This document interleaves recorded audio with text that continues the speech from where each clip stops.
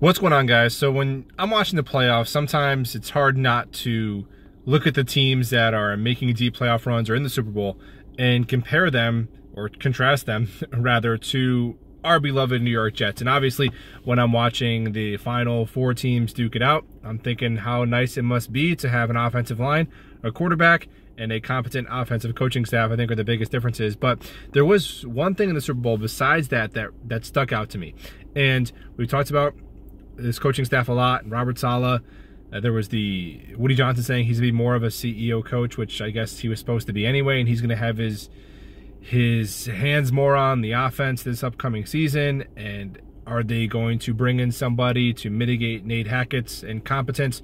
All that stuff that came out of the athletic report, and then Woody Johnson's comments at the NFL Awards show.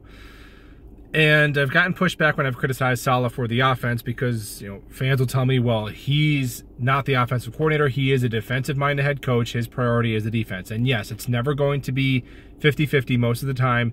Coaches are going to lean into their strength. Like Andy Reid leans really into offense, and, and Spags uh, takes care of the defense. Um, but Kyle Shanahan, offensive minded head coach, obviously, right? There was a play in the fourth quarter a big third down. And San Francisco comes out in what looks like a cover one or cover zero look. Um, and, and Mahomes had been toasting their blitzing all anytime they tried it. And Shanahan calls a timeout, doesn't like it, uh, overrides Wilks.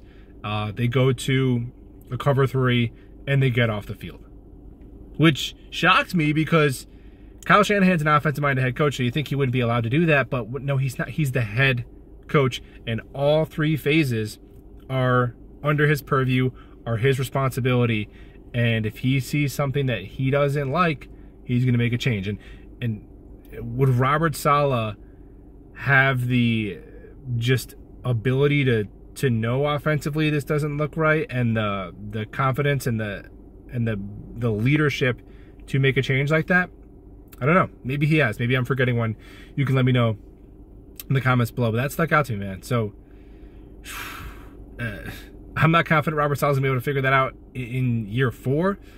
So that brings me back to now Super Bowl's over. Uh, again, it's probably only options are like retreads or retired guys, but somebody who can come into this staff and call him assistant head coach, maybe pay him more than you'd like to who would have the ability to do that, which is kind of embarrassing that that's what it's what it's come to. And I understand there are some strengths in this coaching staff, the defense, special teams, but I don't know, man. That stuck out to me. Like, do we have that capability at head coach? I don't know. Let me know if I'm overreacting, but we'll talk about soon.